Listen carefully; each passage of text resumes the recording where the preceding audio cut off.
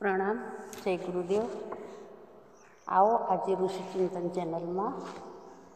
ક્ષુદ્રતા છોડો, મહાનતાના માર્ગે ચાલો. આજનો બીજો વિષય છે, મહાનતા સાથે જોડાવ, સમયને ઓળખો.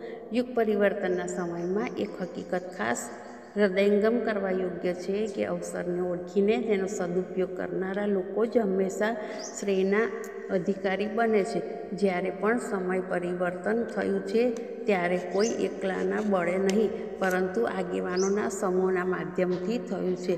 અવતારોની પરંપરા તેનો સાક્ષી છે.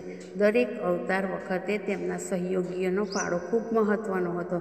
રામ અવતાર વખતે લક્ષ્મણ, અંગદ, હનુમાન, વિભીષણ, સુગ્રીવ, નલનીલ જેવા બળવાન અને સામાન્ય રીછવાનરો સમાનરૂપે સમાન રૂપે સહભાગી બન્યા હતા. ગીધ તથા ખિસકોલી જેવા તુચ્છ જીવોએ પણ પોતાની શક્તિ પ્રમાણે ભૂમિકા નિભાવી હતી. કૃષ્ણ અવતારમાં પાંડવોથી માંડીને ગોવાળિયાઓ સુધીના બધાનો સહયોગ મળ્યો હતો. બુદ્ધના ભિક્ષુઓ અને ગાંધીજીના સત્યગ્રહીઓ ખભે ખભો મેળવીને ચાલ્યા હતા. ભગવાન સર્વસમર્થ છે. તેઓ આંગળીના ઇશારે બધું કરી શકે છે. વારાહ અને નૃષિની જેમ એકલા જ ઈચ્છિત કાર્ય પૂરું કરી શકે છે. પરંતુ પોતાના પ્રિયજનોને શ્રેય આપવું તે પણ અવતારનું એક મોટું કામ છે. શબરી અને કુબ્જા જેવી મહિલાઓ અને કેવટ તથા સુદામા જેવા પુરુષોને પણ અવતારના સહચર બનવાનો લાભ મળ્યો હતો. ગાંધીજીના સાનિધ્યમાં વિનોબા અને બુદ્ધના સાનિધ્યમાં આનંદ જેવા અનેક લોકોને શ્રેય મળ્યું હતું. ભગવાનના અનન્ય ભક્તોમાં નારદ જેવા દેવર્ષિ, વશિષ્ઠ જેવા મહર્ષિ અને વિભીષણ જેવા અનેક લોકોને યશ મેળવવાનો અવસર મળ્યો હતો. સહકાર અને સંગઠનની શક્તિને સર્વોપરી શક્તિના રૂપમાં સાબિત કરવા માટે મહાન શક્તિઓ સદાય એક પ્રયત્ન કરે છે કે જાગ્રત લોકોને મહત્ત્વપૂર્ણ અવસરોએ લાગ, આગલી હરોળમાં આવવા માટે પ્રોત્સાહન આપવું. અર્જુનને તો ભગવાને ઠપકો આપ્યો હતો અને તેની નિંદા પણ કરી હતી. સુગ્રીવને લક્ષ્મણે ધમકાવ્યો હતો. પરમહંસ વિવેકાનંદને જબરજસ્તી ખેંચી લાવ્યા હતા. આમ્રપાલી, અંગુલીમાલ, હર્ષવર્ધન અને અશોક પાસેથી જેટલું લેવામાં આવ્યું હતું તેના કરતાં અનેક ગણું તેમને પાછું આપ્યું હતું. ભામાશાના સૌભાગ્ય બદલ કેટલાય ધનવાનોને ઈર્ષ્યા થતી હતી. ભગતસિંહ અને સુભાષ બોઝ જેવા યશ મળવાનો હોય તો તે માર્ગ પર ચાલવા માટે હજારો લોકો આતુર રહે છે. જો સમજાવવામાં આવે તો કેટલાય કેવટો ઉતરાઈ લીધા વગર પાર ઉતારવાની પ્રક્રિયા કરી શકે છે.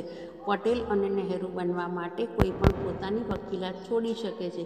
પરંતુ દુર્ભાગ્ય એટલું જ છે કે લોકોને સમય ઓળખીને સાહસ કરી શકતા નથી. જાગૃત લોકો જ મહત્ત્વપૂર્ણ નિર્ણય લઈને સાહસ કરે છે અને ઇતિહાસમાં અમર બની જાય છે. આવું સૌભાગ્ય મેળવવામાં શ્રેયાર્થીનો વિવેક જ મુખ્ય હોય છે. અથવા ઉપનિષદકારના મત પ્રમાણે મહાનતા જેને ઈચ્છે છે તેનું વરણ કરી લે છે. ની ઉક્તિમાં રહેલી દૈવી અનુકંપાનું પ્રતિપાદન સાચું ઠરે છે.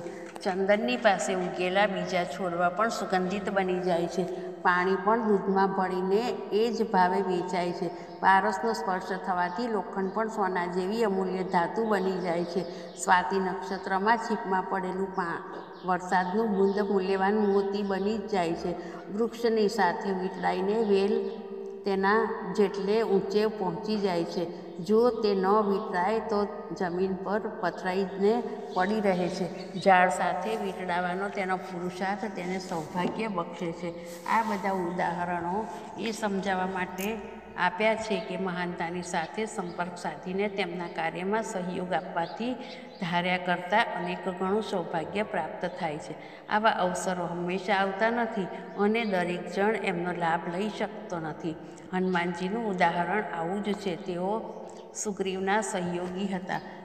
જ્યારે વાલીએ સુગ્રીવની સંપત્તિ અને તેની પત્નીનું અપહરણ કર્યું, ત્યારે હનુમાનજી તેનો સામનો કરી શક્યા ન હતા તે વખતે સુગ્રીવની જેમ હનુમાનજી પણ અસમર્થ બની ગયા હતા અને જીવ બચાવીને પર્વત પર પહોંચી ગયા હતા.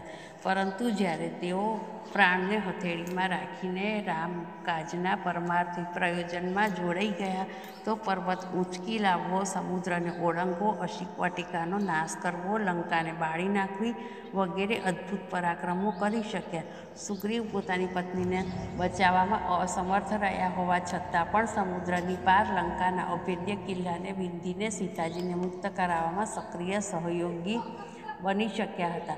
આમાં દૈવી સહાયતાની વાત પ્રત્યક્ષ છે. જે લોકોએ ભગવાન રામની લીલા અને ગૌરવને ઓળખીને સહયોગ આપવાનું સાહસ કર્યું. તે બધાને આવી કૃપા પ્રાપ્ત થઈ હતી. વયોવૃદ્ધ જાંબુવત અને જટાયુ તુચ્છ ખિસકોલી ગરીબ કેવટ અને સબરીની ભૂમિકાઓ જોઈએ તો તેમણે કરેલી મદદ સાવ સામાન્ય હતી.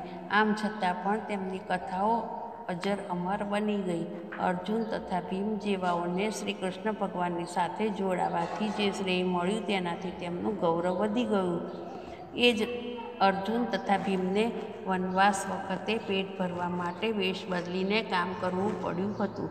દ્રૌપદીનું વસ્ત્રાહરણ થતું જોનારા પાંડવો ખરેખર જો મહાભારત જીતી શકે એટલા સમર્થ હોત તો દુર્યોધન કે દુશાસન એવી દૃષ્ટતા ન કરી શકત. પાંડવોના વિજયની પાછળ ભગવાનને પોતાના સાથી બનાવવાની બુદ્ધિમત્તા જ રહેલી છે. જો તેમણે ભગવાનને પોતાના સાથીદાર ન બનાવ્યા હોત, તો તેઓ પોતાના બળે મહાભારત ન જીતી શક્યા હોત અને આમ તેમ ભટકીને દિવસો પૂરા કર્યા હોત. હર્ષવર્ધન, અશોક, આનંદ, રાહુલ, કુમારજીવ, સંઘમિત્રા આમ્રપાલી વગેરેએ જો બુદ્ધ સાથે જોડાવાનું સાહસ ન કર્યું હોત તો આજે તેમને કોઈ યાદ ન કરત. નહેરુ, વિનોબા, રાજગોપાલાચાર્ય, સરદાર પટેલ, રાજેન્દ્ર પ્રસાદ વગેરે જો પોતાનો સ્વાર્થ સાધવામાં પડ્યા હોત અને ગાંધીજી સાથે ન જોડાયા હોત તો તેમને કોણ ઓળખત? ચાણક્યની સાથે ચંદ્રગુપ્ત સમર્થની સાથે શિવાજી, પરમહંસ સાથે વિવેકાનંદ અને શંકરાચાર્ય સાથે માંધાતા જોડાયા. તો અદ્ભુત અને અકલ્પ્ય કહી શકાય તેવું કાર્ય થઈ શક્યું અને તેઓ અજર અમર બની ગયા. ભામાશાહે રાણા પ્રતાપના ચરણોમાં પોતાનું ધન સમર્પિત કર્યું. તો તેઓ પણ એમની સાથે અમર બની ગયા. મહામાનવોની સાથે જોડાવાથી શ્રેયના માર્ગે ખૂબ ઝડપથી આગળ વધી શકાય છે. અગત્ય ઋષિની મદદથી ટીટોળી પોતાના ઈંડા પાછા મેળવી શકી હતી. શ્રેય કાર્યો માટે સાહસ અપનાવવાનું ગૌરવ તો પહેલેથી જ રહ્યું છે અને ભવિષ્યમાં પણ રહેશે જે લોકો આવા મહાન અવસરને ઓળખીને ભગવાનની સાથે ભાગીદાર બને છે તેઓ અત્યંત ભાગ્યવાન છે. મહાન આત્માઓ વારંવાર જન્મતા નથી.